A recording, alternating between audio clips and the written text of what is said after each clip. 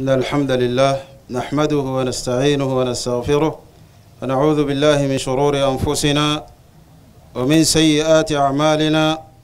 من يهده الله فلا مضل له ومن يضلل فلا هادي له. وأشهد أن لا إله إلا الله وحده لا شريك له. وأشهد أن محمدا عبد الله ورسوله وصفيه وخليله صلى الله عليه وعلى آله وصحبه أجمعين.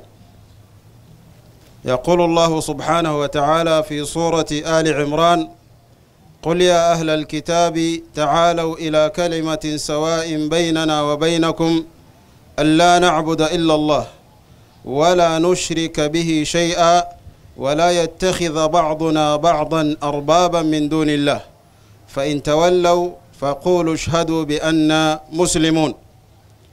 هذه الآية العظيمة بإذن الله عز وجل نقف معها. في هذه السانحة جاء عند أهل التفسير كالإمام الطبري رحمه الله تعالى يقول في هذه الآية قال جل ثناؤه قل يا محمد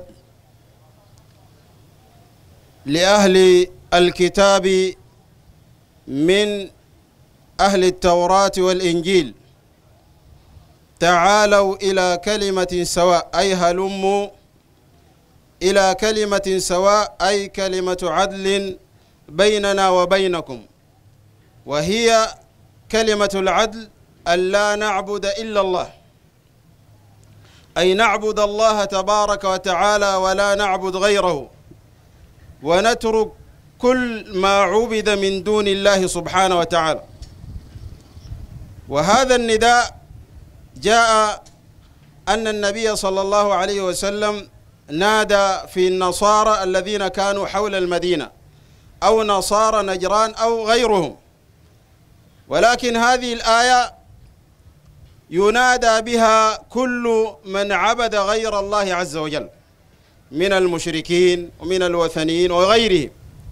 تعالوا إلى كلمة سواء بيننا وبينكم ألا نعبد إلا الله. ولا نشرك به شيئا. ولا يتخذ بعضنا بعضا أربابا من دون الله.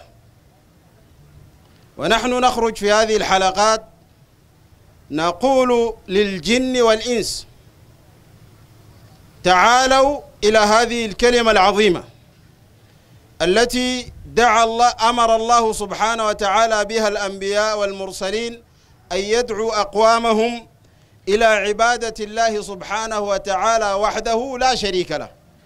لأن ربنا سبحانه وتعالى أمر بذلك وقضى بذلك كما قال تعالى وقضى ربك ألا تعبدوا إلا إياه وبالوالدين إحسانا وقال تعالى واعبدوا الله ولا تشركوا به شيئا ده التوحيد الذي عارضه أهل الشرك والضلال.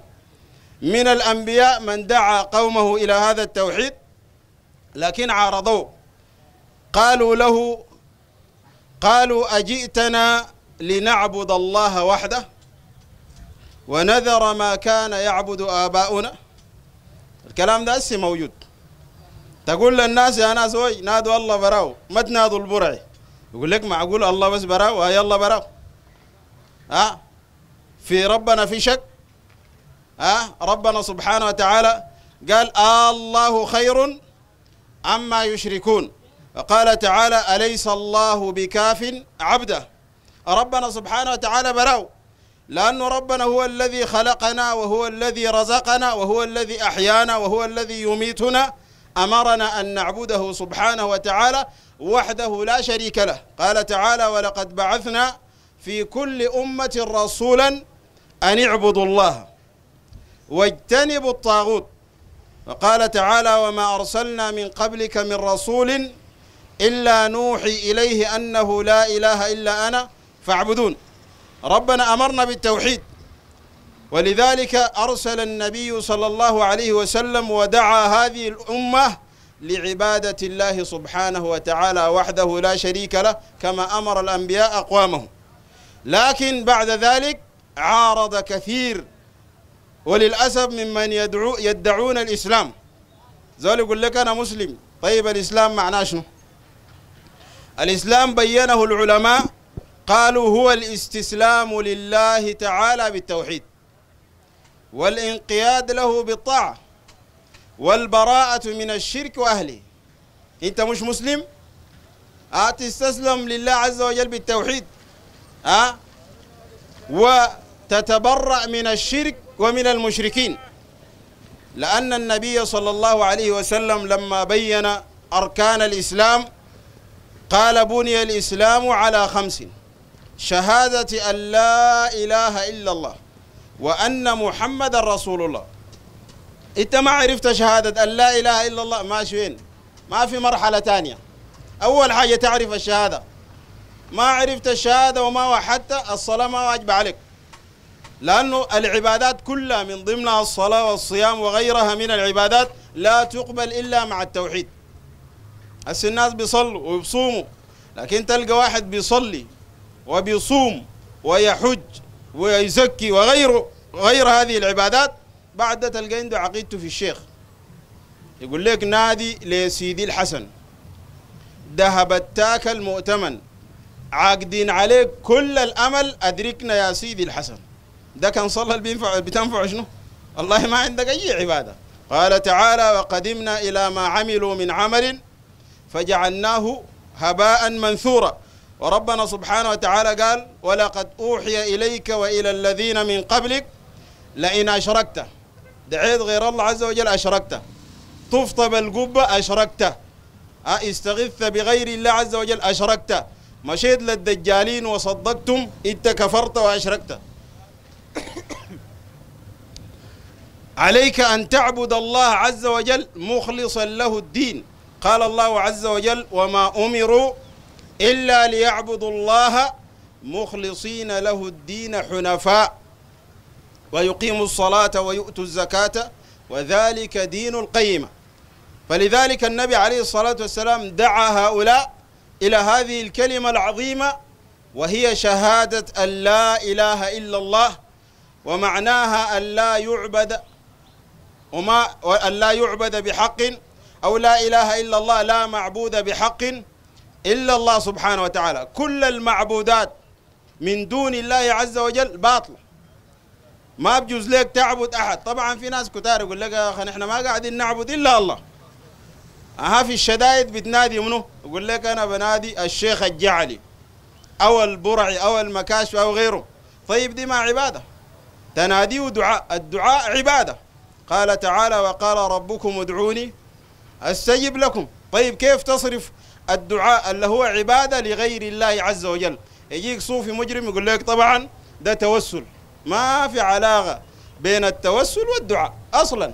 ده في المشرق وده في المغرب.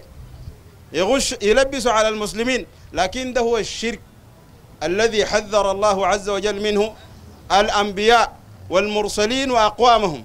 ربنا سبحانه وتعالى قال عن المشركين. والذين اتخذوا من دونه أولياء ما نعبدهم إلا ليقربونا إلى الله زلفى. المشركين قال إحنا نزل ما عبدناهم الا يوصلونا لمنه؟ لله وربنا ما دار واسطة.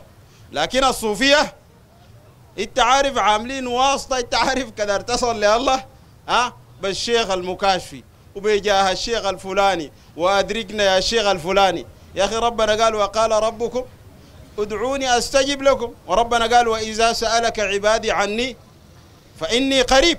تسأل ربنا سبحانه وتعالى الخلقك. ما تسأل لك مخلوق. وبعد ده في ناس بيزعلوا. والله تستغرب من زول يقول لك أنا مسلم. واسمي محمد أحمد. تقول لي يا زول نادي الله براو وما تنادي البرع تقول لي نادي الله براو وما تنادي البرع تلقى صاري.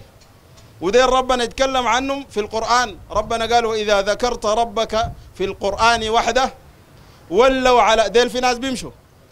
ولوا على أدبارهم نفورا. وربنا سبحانه وتعالى ذكر قال إذا ذكر الله وحده اشمأذت قلوب الذين لا يؤمنون بالآخرة. وإذا ذكر الذين من دونه إذا هم يستبشرون. تقول لي هذول نادي الله براو يزعل. ها؟ يقول لك نادي السادة السادة السادة أنا عبدا لكم نادى تلقاه ينطط وينقز وما عارف حاجة عشان كده النبي عليه الصلاة والسلام دعا هؤلاء وقال لهم يا أهل الكتاب تعالوا إلى كلمة سواء بيننا وبينكم ألا نعبد إلا الله ولا نشرك به شيئا ولا يتخذ بعضنا بعضا أربابا من دون الله فإن تولوا فقولوا اشهدوا بأننا مسلمون. الحديث يعني طويل لكن نترك الحديث للأخ محي الدين.